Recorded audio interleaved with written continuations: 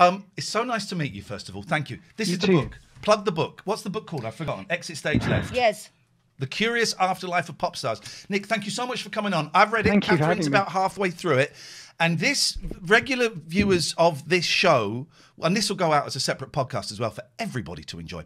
But regular viewers of this show will know my favourite bit in in the pop journey is. And where am I based? There are two bits that you like the best. Just before, Just no, that's my career. I don't like that bit in pop stars. For me, it's just, Just as it starts to turn sour. Right. Just as it's starting. And quite Right. often, I'm a big Monkees fan, Nick, and quite often Uh-huh. it's when the band gets control. When the band takes control, Bay City Rollers, Monkees, it starts to turn. Tell it why did you why did you write this book, Nick? Um, it was something I wanted to cover for a long time now. I wanted to look at how musicians manage their life after their first flush of fame. You know, how how do they endure and reinvent themselves and continue to to thrive? I've been writing about music for for many years now, and when I first started at 2021, I was interviewing singers and bands who were also 20 and 21, and they were going to take over the world, and they didn't write songs because it was their job. They wrote songs because they absolutely had to. It had to come come out, and it was really exciting. And I kind of believed every word they said because they believed every word I said. But then as I got older, they got older, and they were releasing their fifth album and their tenth album. And in the interim, life had happened to them, Mm. and so they had learned how to deal. Not really with failure, but just the reality of life that not every band goes on to become U2 or Madonna or the Beatles or Taylor Swift. And I found that they became more interesting as they went along, perhaps in the way that all of us become more interesting because our backstories are now behind us and it kind of forms the people we are. And I knew there would be stories there if people were willing to talk about it. I'm surprised. How did you? uh, How did you word it in the email? Because I'm surprised that so many people from so many different, you know, big stars, kind of smaller stars. I'm surprised you got that many people. How did you word it to them? I suppose the honest answer is I was entirely honest Right. with them. And I came from a point, and you've read the book, so I, ho- I hope you'll agree with me. I, I came from a point of pure admiration for them. Yes. I've been doing this for 30 years now, and I don't think I would have interviewed bands for such a long time if I didn't really admire them. You know, these are people who dared to dream and then had that dream come true. So I kind of find them amazing, and I, yeah, full of admiration for them. So, and I knew that at the beginning of a, an act's career, there's a disproportionate amount of attention placed on them. So when the music press was still around, you know, we would be sent to interview bands all over the world and document everything that they said. And I, th- I got the sense that they liked being listened to. By the time of their fifth album and their seventh album and beyond, they had just as much to say, but people weren't listening because the Mm. zeitgeist had kind of gone that way. So I just asked them completely honestly, what's it like to not live for that 15 minutes of notional fame, but to make this your entire career? That what you do with your life is write songs in the hope that I sing them when my heart's broken or when I'm cooking mm. for the family or when I'm walking the dog. What's it like that songwriting is your job? And what's it like if your audience sometimes diminishes, as most people told me? At some point, your audience will slightly or greatly diminish simply Yeah. because we are fickle. We move on to the next thing and then we move on to the next thing after that. And I, the people who did say yes, and I suppose the inference is there is that lots of people said no, but those who said yes seemed to really enjoy talking about it and they were Right. philosophical and existential and they made me laugh and sometimes they brought tears to my eyes but they had such metal and determination about them you know they'd been tested but they were never going to stop because they'd found that one thing in life that they really wanted to do and they were good at doing And that was the thing. When we heard about it, we're both a bit, oh, is this going to be a little bit snarky? But it's not, is it? No, not at all. And Good. what I also found beautiful about mm. it is, like you say, as people get older, they've got more stories to tell. Yeah. They also have less to lose by being honest, right? When Completely. they're younger, they're overwhelmed by it and they're mm. being really sort of pushed in a certain direction Yeah. by people who appear to know better. yes Here, they're speaking of themselves. Yeah, they're being marketed in the early days, and what a lot of them told me was that they, that perhaps they liked the concept of fame, but they were then being marketed, and they were being told what to wear and what to say, and they were being sent on this plane and that, air, you know, that train and this TV mm-hmm. station and that radio station. Say this, say this, talk in sound bites, and I, I realized as a journalist initially that there's a reason, I guess, why so many of them wear sunglasses because they are hiding, they want to keep something to themselves and many people in the book say time and again in different ways that they didn't like fame. They found it a poisoned chalice. They felt that they were being compartmentalized and shoved down a road they didn't want to go. They wanted to write different kinds of songs, but because they'd had hits, the record label said, no, no, no, write more hits Yeah. and, and lose a bit of weight and, and stay cute. And whatever you do, don't talk about drugs. And so it was just this weight around their shoulders. And the moment they kind of shrugged it off, they all seemed to embrace it and think, thank God for that. It was a giddy Mm. carousel. I enjoyed it while I was on. I'm glad I had that. But God, I'm happy to be off because now I can kind of live my own life. There are some obviously there, there's like the Beatles and the Stones, and they're kind of Yeah. completely different. There are some exceptions to the pop world. I remember watching Robbie Williams go on and on and on, and I kept thinking, when is his bubble? And his bubble did burst mm. eventually, but you compare it to someone like oh, I don't know, David Cassidy or, or you know those kind of pop stars who who had about eighteen months. He went on for years, and take that are bigger than mm. they ever were. And if you follow the history of pop, they should be like a pub quiz question now, shouldn't they? Yes, they should. I think they've learned from their predecessors' mistakes, as your T-shirt reminds us. You know, the Bay City Rollers were really taken advantage of and hung out to dry. Mm. So the bands, the boy bands and the girl bands and all bands of the 80s and then the 90s and beyond saw that. They watched it with with interest, I guess, and an awful lot of sadness, and thought that's not going to happen to us. And that's why I think Robbie, who I, I speak to in the book, is so fascinating because although he had all the talent to survive forever, as you said, Iain, he he was somebody who was going to crash and burn. He, he suffered with depression over the years, and he was very fragile. As as much as he had a huge ego, he was quite fragile as well. So his narrative was someone who was going to be a firework. He's going to look really good when he's up in the sky and then come to earth. But he didn't. He's he managed to sustain it. He when he finally ended his imperial stage when he was having albums that sold more than the last one, he took time off. He grew a beard. He discovered UFOs. He decided to do his own thing. He then had a family, and he thought, you know, I, I don't mind no longer having hit singles. Mm. Absolutely, part of him would still like to be number one, but he knows what that costs him, and he's done it for 30 years. So he will never, I think, anyway, stop releasing albums and playing live, but he will do it on his own way in his own time, and that's directly because the members of Bay City Rollers, to name but one, didn't. And you know, look at hmm. Bros as well. Bros were another one of those Yeah. acts who really didn't, you know, they really had a kind of hard time, and even they are are kind of coming back, aren't they, in their own way?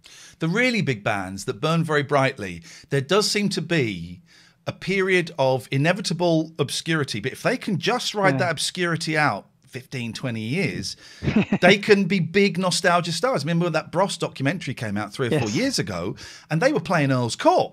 Uh, Yeah. Not Earl's Court, sorry, the O2. They're playing the O2, Earl's Court. Yeah. I'm so old.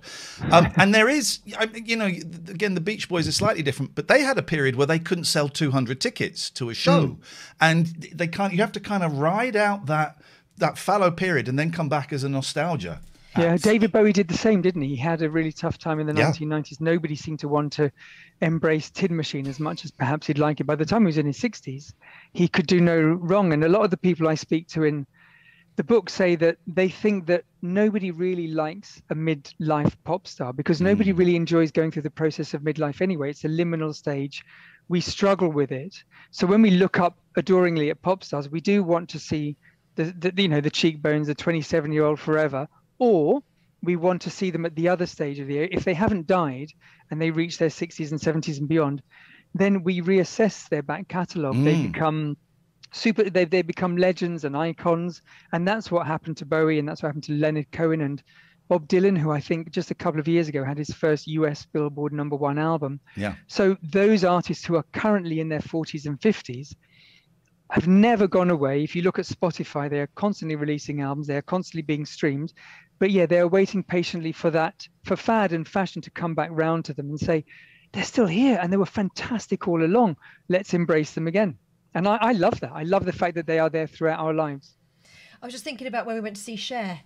Oh bloody hell! Yeah, that was insane. And also, in the same year, we saw Ronnie Spector, who should have been as massive as Cher. Ronnie Spector was, Completely. sell- was playing a three quarters full Shepherd's Bush Empire. Cher was playing a couple of nights at the O2. Both of them Yeah. sounded like they did on the records. You Yeah. know, they were absolutely fantastic. There's no reason why she shouldn't have been as big, apart from her choice of marriage, I suppose. Um, Of we need to talk. yeah. We need to talk about Adam Ant, right? Because um, uh, you you you interview Adam Ant in in the book, and. I'm trying to maybe 10 years ago, my sister's in the, the room and she'll know when it was. I worked at Virgin or Absolute, it may have been then. And we had an email. Anyone want Adam Ant? No one went for it. I went, I'll flip in have Adam Ant. You know, he'd been not been around for a while. But I remember my sister was a huge, huge Adam Ant fan um, growing up. So I got Adam Ant in. Now, he was eccentric, as I want all my pop stars to be. He wouldn't come in the building unless my my um, producer went and met him. He brought in Andrew Sachs's granddaughter, who'd slept with Russell Brand, you know, as part of that whole Sachsgate thing. And she, during the record, she kept saying, "You can ask me about that if you want." I'm thinking, I don't want to ask you about that. He was delightful. He phoned up my sister and left a message on her aunt's phone. All right, Joe, it's Adam Ant.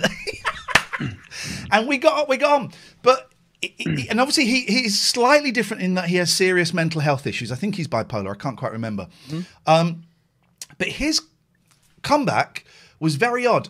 I saw him play two gigs. One was the one I think you write back in the book, but it was at the Electric Ballroom in Camden, okay. where it started at seven thirty. So me and my sister got there at eight thirty because who wants to see the support act? He'd already done an hour. What like a kids' party? Seven thirty. Yeah, he, he'd already done an hour. Tickets like fifty quid. We got free ones. So he saw that, and it, it was like two and a half hours, and he was doing Rolling Stone songs, and it was people were like wandering about and bored. And also, I had the great pleasure of introducing him at the garage. I had to. He was, did like a little solo gig with his Rickenbacker, and I got to go. Ladies and gentlemen, please welcome Mr. Adam Ant. Um, he, I mean, he's slightly different because I think he, he, he sees things slightly differently. How did you find Adam? When well, you just, just to be him? clear, I didn't interview him for the book. I right. interviewed him 10 or 11 years ago when he played those garage shows. Right. Okay. And I included him in the book because I found his story so powerful and he was so eloquent in talking to me about what it's mm. like when you know, he, I think he he was diagnosed bipolar, and he said that he constantly has this creative tornado going on in his head. And at his heyday, when he was able to express that creativity through, you know, being on top of the pops every other week, you know, being essentially the biggest pop star in the world, yeah. and certainly getting me interested in pop music for the very first time as a 10 or 11 year old he had an outlet and he felt good with himself he could manage that when that went away he said it was much harder because he still had all the creative urges. Mm. And when it went out, it didn't seem to reach that too many people, and that was frustrating for him. But I thought he was so inspiring when I talked to him because he he was talking about mental health at a time that I hadn't heard it within yes. the media. It was not on the front pages of all the paper. And he said that I really want to talk about this because I'm not the only one. I think you'll find many people within the creative arts and elsewhere suffer from mental health issues. And if we talk about it more, we will understand it more and we will they will will reduce the stigma. And I thought obviously in the years since it's now become this it's it's everywhere. So yeah. just as he was a trailblazer in the early 1980s with music, he kind of became a trailblazer in talking about and it was, what happened behind that afterwards. So, sorry to interrupt. It, it was a brave thing to do then because he was a joke. Really, he was a joke. He went to a nut house. He shot a, a, a window in a pub. He was a joke. You know, he because... was angry because he was constantly being prodded, and you know yes. that's the awful thing that once you're a pop yeah. star, you were always a pop star. So mm. I understood that he was just trying to go about his life quietly. Yeah. Somebody will recognize him in the you know post office queue or down Give little him some or of that. You're right, Adam. Yeah. And it, that's that's awful. You know, you think so he could never kind of relinquish that or, or leave it behind or just lead in inverted commas a normal life so there is a kind of stigma so if you then have an afterlife wherever it may takes you you are constantly being dragged by hello adam hello whoever yeah and that must be quite difficult and he did struggle with it quite reasonably being recognized is great when you got a load of money but when you ain't got no money, it's, it's shit. Very quickly, just the last thing on Adam Ant. He, people mm. forget how big he was. He was the only white artist at the Motown 25th anniversary wow. show, you know, and he's I think he's he's smoking crack with with um what's going on? Who's what? Marvin Gaye. Marvin Gaye. I think. Uh, uh, uh, no, he would have been dead by then. He was doing anyway. He was doing, but he's the only white artist at the Motown 25th anniversary. That's right. crazy, mm. right? Um, how cool is Bill Drummond from KLF? What Brilliant. a great, what a great opening to the book that is. I was very happy because obviously I, I'd I'd approached all sorts of people that I admired, but also I thought people who could tell an interesting story, but a different story from the the one before that I'd interviewed. So I approached Bill Drummond, who kind of has done things his own way throughout his career. He's been a music producer, he's run his own label, he's been a manager, and then he was a pop star. he had a number one single, more than number one, number one single all around the world. Then he wrote a book with Jimmy Cauty from the KLF on how to write a number one single. And then at the very height of their career, they did what no band, or very few bands ever do.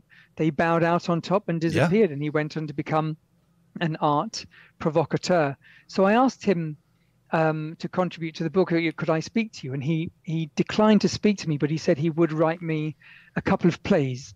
I love and, it. He'd write me a couple of plays. And so I thought, I have no idea how these plays are going to come out. But basically, he was telling me how he felt about pop. And he, if I understood the plays correctly, um, it's that he thinks that pop is this perfect thing that should exist within a time capsule. So the very moment either Nik Kershaw goes off the boil or Prince, stop, finish, bye bye. Don't yeah. con- continually come back on the nostalgia circuit.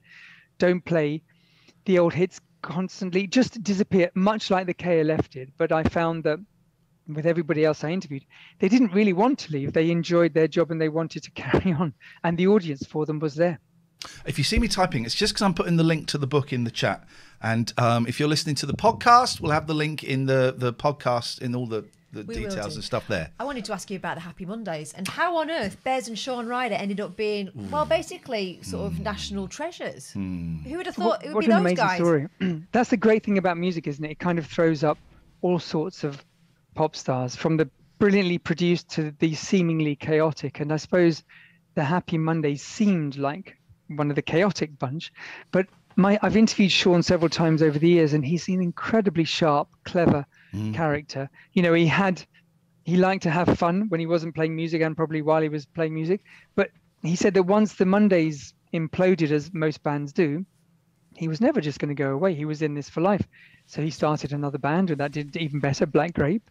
And then when that imploded as well, he thought, well, what do I do now? So he started writing for the newspapers. He had books, many. Oh, many his column uh, out. when I was doing Rise in 2003, a breakfast TV show, and yeah. his column in the Sport, which he didn't write, no, but Jesus, not. it was it was the it was the right. funniest but thing. He became a character. He was a character, and he exploited that, didn't he? Absolutely. Then he's, you know, he did I'm a Celebrity, and everyone thought again that that was going to end terribly. Shaun Ryder in the Jungle would be terrible, but he was this charming, avuncular presence. He'd seen that Bez had done Celebrity Big Brother the year before, and both of them, however improbably or not, came out, yeah, as you said, national treasures. And now he seems to be, if they're not doing Dancing on Ice, they're doing This Morning with Phil and Holly. And he's this incredibly charming maverick that never kind of goes away. And you don't want him to go away because they just don't make people like him very often.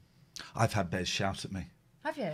Yeah, he was on a TV show I was doing on BBC Choice. It used to be on BBC Three, Liquid News, and it was you'd have two guests and you'd talk about showbiz. And he was talking about the Falklands War, and in my ear they're going, "You got to move on, Iain. You got to move on. Got to move on, Iain. Okay, Bez. All right. Anyway, now let's go and see what's happening in LA." And afterwards, mm. he had a go at me. Bez or Shaun? Bez. Right. He had a go at me saying you should have let me speak. I was like, I'm really sorry, they're in my ear. Mm. And then like a year later, I was at some event um, done by Clint Boon, and Bez was there, and he kept me going, "You're that fucking wanker that wouldn't let me." T-. And I was like, "Oh, for fuck's sake, man!" It was it was not a very pleasant experience. I tell you who I like in here, Tim Booth. Tim Booth from James. That, that was a great story, right? He's he completely changed his life. I found that um, because music seems to be such a satisfying pursuit for anybody who pursues it, once it's over for them or once they've left or music has left them, they find it really difficult to fill that vacuum. What are they going to do next? Tim Booth was always a bit of an outlier in that regard anyway. He moved to Northern California and now teaches various kinds of alternative practices. So he does these amazing dances that he always did on stage anyway. Yeah. He was always incredible to look at. He now teaches that to people. Wow. Um, he acts occasionally. He's recorded with Angelo Badalamenti and he agreed to come back to James only on the understanding that they wouldn't simply be a heritage act. As much yeah. as he was proud of their back catalogue, he wanted to look to the future. So when James got back, they recorded new albums and they were great. And it's obviously there is an argument to suggest that when people go and see them live, they want to hear sit down and come home and all the hits. And he's, he says something on his Twitter page that look, they may play the old songs every now and then, but if you're going to come and see us, we are a future forward looking band so accept that we're going to play what we want when we want because that's why we exist. But yeah, as you said, Iain, he's very happy in Northern California doing his alternative health practices. Even uh, you know, Paul McCartney has talked about he knows when everyone's going to go to the toilet. He can see everyone go to the Yeah. toilet when he plays a new song. He can see Well, it. they are getting on a bit, aren't they? and that, but, you know, and, and and he's he's he's suffered with that for years, Yeah. you know, and he's talked Yeah, it about it quite hard. often. It must be tough. Going, here's here's here's a new one. Oh shit! Everyone's yeah, I've seen I've seen the Rolling Stones play live twice. I think the first time was 1990, the second time in 2005, and both times there was a little Keith Richards solo spot, and it- these were in stadiums, and it was amazing to see not hundreds, thousands of people stand up and go either yeah to the toilets or for hot dogs or to put more money in the meter for their car, and you just thought, is that is that heartbreaking? Do they accept it? Um, yeah, it's it's it's not easy for them, I suppose, uh, from a creative standpoint. There's also, I tell you, what, I'm really old, right? Because there was a there, there was an act in this book. I'm thinking, what are they doing in it? They're really current. and there was like, oh, then there, Franz Ferdinand. I thought, but they're quite new. Oh, it was 2004. Oh, okay. Time time flies here, time, Time flies. really does. That's like 20, 18 years ago. I guess they're kind of. I'm a big. We're big Sparks fans, and I know they did FFS yeah. with them, but um, he was great. Alex from Franz Ferdinand, as one would imagine from kind of an art school rock band, he was very articulate about the whole phenomenon. I felt that this was a subject that he could lecture on from a podium, and I would be in the front Mm. row taking notes. He was he was amazing. He'd clearly given it a lot of thought. By the time Franz Ferdinand hit, I think he was comparatively old for a new pop star Yeah. in his early 30s. So he, by rights, he should have been 21. So he had prepared for it. So when they took off stratospherically, I think I sensed that part of him wasn't surprised. He knew how good they were, how much of a finished article, but he also knew that this was a moment in time and moments in time pass. So he has kept things really interesting for himself ever since as well, doing solo projects, the Sparks project, and you know, Greatest Hits has come out, and you know what happens when a Greatest Hits comes out. The the record company, maybe this is changing slightly in the age of streaming, but once a, a hits collection comes out, the record company starts to look over their shoulder for the next one. Yeah. And so I got the sense, yeah, from Alex Kapranos, he wants to keep things interesting. He knows that it will never be 2000 again, 2004 again for Franz Ferdinand. There will- There will never be that incredible urgency around them, that incredible excitement, because we've had the excitement and that excitement has passed. But he told me that ultimately he wants to die on stage. He is never going to stop, no matter what happens. This is him for life. We saw uh, a couple of weeks ago. We went to gig at the Royal Albert Hall, and we saw two of these acts. I guess we went. Oh, yeah? I'm big. We're big fans of the Barenaked Ladies. I love the Barenaked Ladies, but also the opening act, KT Tunstall. KT Tunstall, who Okay. I used to. I loved her album when it came out, and then and then hadn't really thought of her. And it was just her with the loop pedal doing that like Oh, yeah. amazing mega busker thing And that she does. I, I saw her on the bill. I thought, oh, yeah, and we were there. I said, "Should we go and see her?" Yeah, sure. Why not? It was it was incredible, and that's part of the, the the. I mean, she again was was comparatively old. I think she was in a th- thirty or something when that Yeah. first out that big album hit.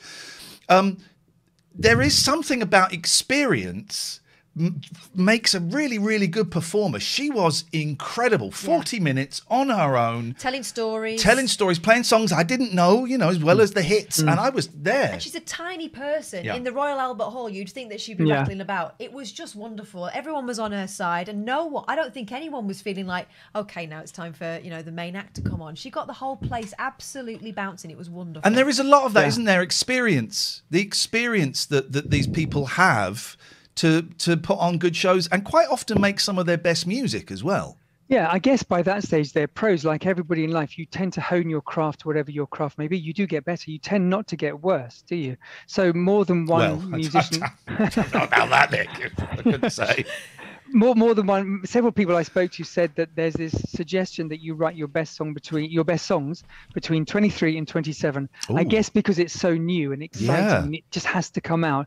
Bob Dylan said that he couldn't write the songs he wrote in his 20s at any other stage of his life, but that didn't mean he got worse. He got much better. And as you said, you know, when you go and see these these bands who've been ar- around a while, we may have forgotten about them, and they never go away. But more importantly, their songs never go away. What I loved most about or, or so interested about in this industry is that you can have three minutes of inspiration 10 years ago, 50 years ago, and that three minutes will work for you forever. Mm. The song will be covered again by other people, it will be used in a mobile phone advert, or you will bring it back out in a 25th anniversary, and the song will just bring you from obscurity or the margins right back into the spotlight because as much as the songs get old in a literal sense, they never really do, do they? Yeah. So to, to watch KT Tunstall with her pedals, which was so dazzling umpteen years ago on later with Jools Holland, because I personally had never seen it, Mm. was amazing again. You think, I remember this, I Yeah. love it. And it taps into nostalgia as well. It taps into a time when we were going to gigs all the time, perhaps. And all of that works in the favor of the artist. So it doesn't do them any favors to walk away. You know, they should stay around because their songs are busy working for them. Um, very quickly, my sister says I really enjoyed Nick's recent article in the Guardian. So congratulations, Oh, thank you. If Thank you you are very much. listening, if you are listening to the podcast, we will put the link in the the, the thing. The book is by Nick Duerden, D U E R D E N. It's called Exit Stage Left. Left. Exit Stage Left: The Curious Afterlife of Pop Stars.